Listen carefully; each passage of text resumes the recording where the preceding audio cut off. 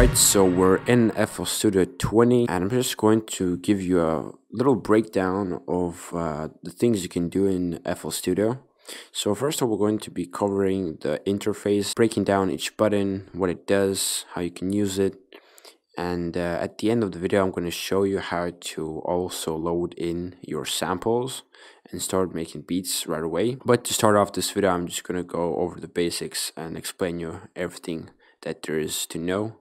I'm going to be covering only the most important things. I'm not gonna, you know, cover every every single knob because I feel like, you know, you don't need to know them in the very beginning. So let's start off top left corner. We have our file new.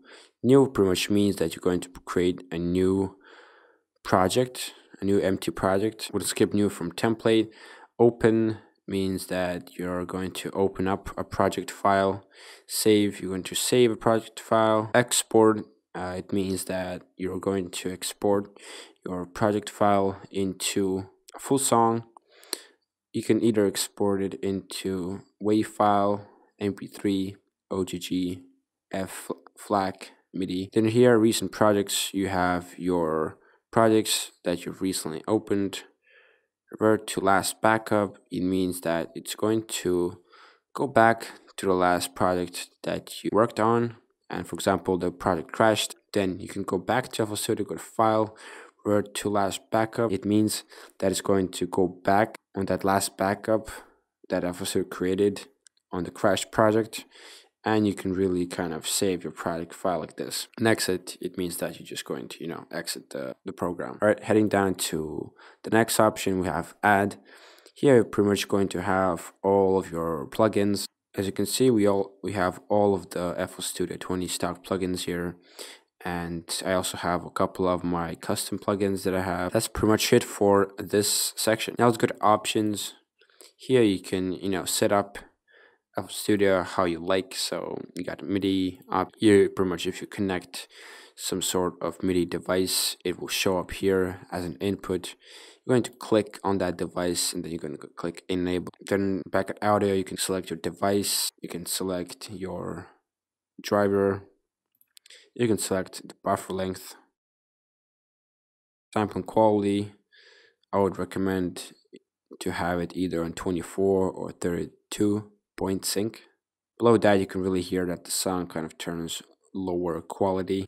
Alright, let's go to info. Here you can put the title of your song, the author, the genre of the track. You can leave comments, web link, and that's pretty much it for this. So the most basic thing you need to know here is the volume knob. This is the master volume. On default, it's on 100%, but you can turn it up all the way to 125. Here you have the master pitch.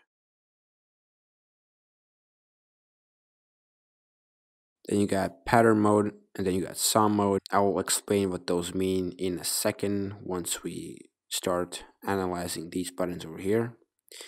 Then play, stop the track, record. We're not going to be covering the record button for now because we are going to be recording some vocals later on in the course and I'm going to show you a little bit more in detail how to do that later on in the course. Master tempo, change the tempo of the song to whatever you like. You got your metronome. You can also change the metronome sound to, for example, a hi-hat or cowbell.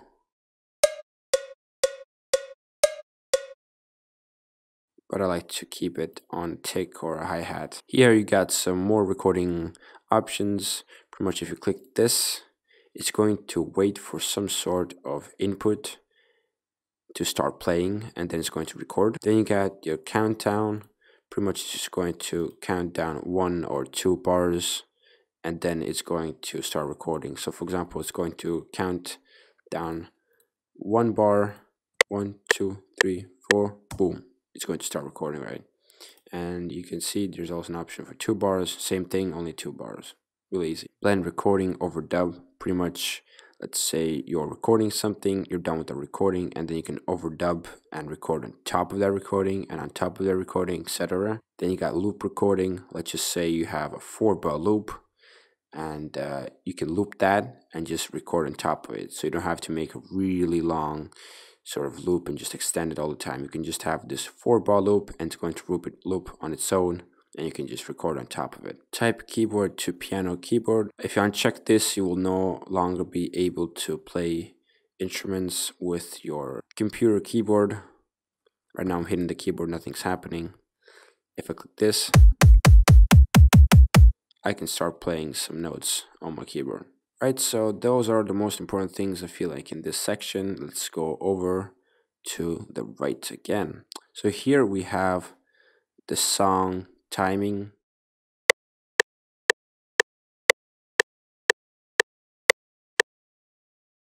Here we have the peak meter. Here it shows your CPU load, memory usage, amount of voices being processed, and do button, which is also a Control Z shortcut. Then moving on to the more important buttons, I'm going to start off with the channel rack. This is the section where pretty much everything happens. You can make melodies here, you can make beats here, make chords so you can make pretty much everything one here. And then later on, once you have your base idea covered, you can just transfer all of this into the next button, which we're going to be talking about, and that is the playlist. For, so for example, let me just add in four hi-hats. I'm going to turn down the volume. Here you can see the volume knobs. Here you can see the channel panning, so we can pan it to the right, we can pan it to the left. We can also mute this. So I'm going to lower down the volume of it to 50%. And now, once you go to the playlist, I can build off my song from here. So let's just say I have four bars of hi-hats.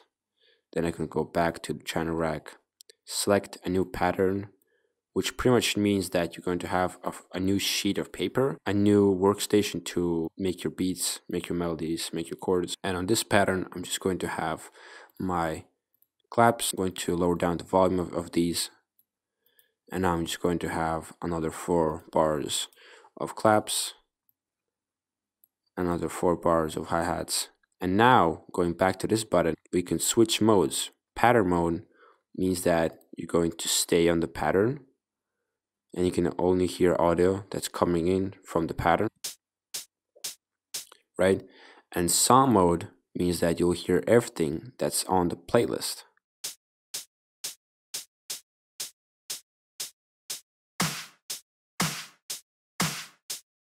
Really simple, right? Going back to the channel rack, as I told, we have our different patterns here, which again pretty much mean, you know, different new sheets of paper where you can draw, let's just say like that. And uh, there's quite a lot of options in channel rack that we are going to be covering further on in the course. So let me tell you a little bit more about the playlist. So the playlist is pretty much this place where you combine all of your ideas that come from the channel rack or some sort of recorded audio, samples, stuff like that, right? And you can, you know, build off your song from here. So as you can see, playlist is separated by four bars all the time. This really helps you to understand where you are in your track and to understand when a certain section needs to begin and whatnot. And here you can really do everything. So if you go to top left, different tools here, we have the draw. So for example, we can you know delete all these using right click and once you place a pattern it's just going to place it as one. Whereas in if you go to the paintbrush if you press it and hold it is going to automatically give you a bunch of these. And the way to insert patterns into the playlist you can either go to the playlist and just kind of you know select let's say pattern 2 and just put it here or you can do an easier thing, which they added to FL Studio 20. You can just go to the pattern like this and, you know, drag it into the playlist. You can also double click and it's going to lead you into that pattern. Now I'm going to skip a couple of these buttons as I don't really use them myself either and I feel like they're not as important as they are but the slice tool is pretty cool so you can just slice up your samples. And we got the select can select it like this. Can select it go to the draw tool and just move the whole thing. So it, this is really useful when you want to rearrange your project file. Let's say you have you know your intro here and then you have your chorus here and then you have let's just say I have a bridge. But in the process of making the track I've decided that I want the bridge to be somewhere here. What we can do is we can you know select and just kind of reposition on the whole project file. Then you have the zoom. If you click it's just going to zoom into your project file. And this is really useful especially when you're slicing up some sort of samples and you can also zoom out by just right clicking or you can use little handles here. And you can also make your project file bigger or smaller. As you can see in the playlist we have a lot of tracks. It goes up to 500 tracks which is a lot of tracks. But if you're working with a lot of recordings those really do come in handy. Right here we can see that mute and solo, you can mute a track. If you right click, will mute all of the tracks but that track that you selected. Let's just say I have let's say a melody here and I want you to just listen to that melody. I can right click, it's going to mute everything but I will hear the melody. You can do the same thing by using playback So let's just say you're, you know, someone the track something's playing and you want to just hear a certain thing separately while it's playing. You can just, just say, I have a hi-hat and a clap playing here. And I just want to hear the hi-hat. Right, I feel like we've covered all the basic that there is in FL Studio. Right, so moving on to the mixer. So let me assign a sound to the mixer to show you what we can do with it. So going back to the channel rack, let's just say we have our clap. We can also change the color of it. Let's try this. And now we select it by left clicking, going to the playlist, and now we can select an insert where we want the sound to be. We can do it in two ways. We can either go to the channel rack and just select the mixer track right here, or we can go to the mixer let's just say I like the number 5 I can right click channel routing route select the channel to this track. And there you go. Now we have our hi-hat in the mixer. Right here we can see the decibels of our track. Here we can adjust the volume of our sound. We can mute it we can pan it to the right, we can pan it to the left.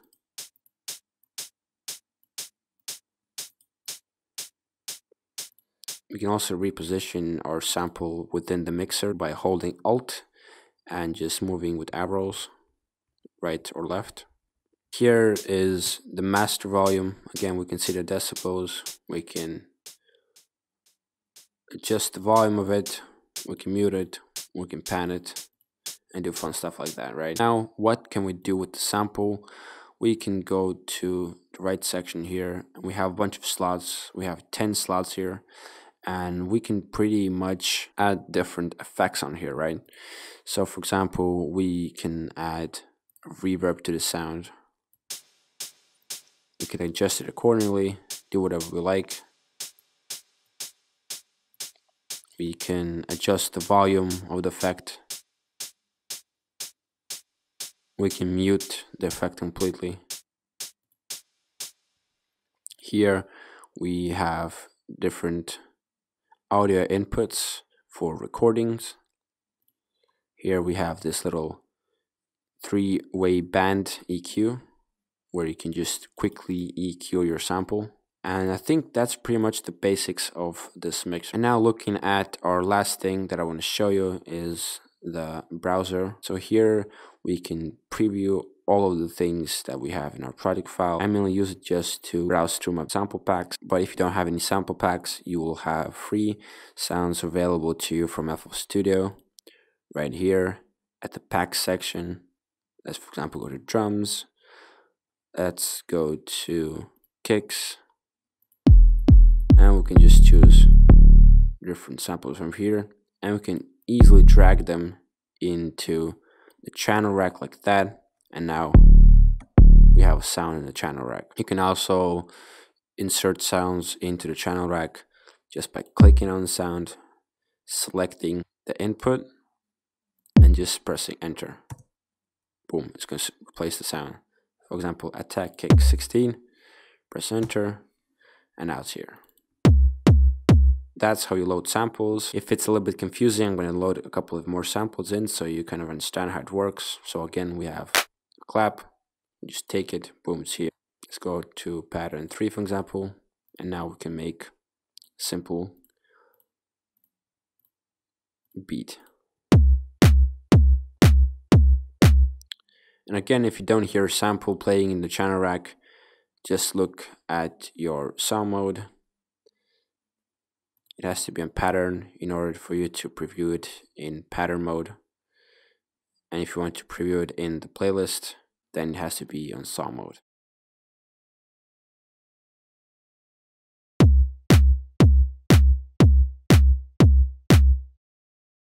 Oh, and also a really cool shortcut that I always use is close all windows F12 it's just going to close up everything that you have. So for example, you have a bunch of different windows open, you can't find what you want, then you can just go to view, close all windows, and it's going to close up everything. So there you go guys, I feel like I've covered up all of the basics that you need to know inside the FL Studio 20 interface. In the next lesson, we're going to be making a cool hip hop beat. So stay tuned and uh, I'll be waiting for you in the next video.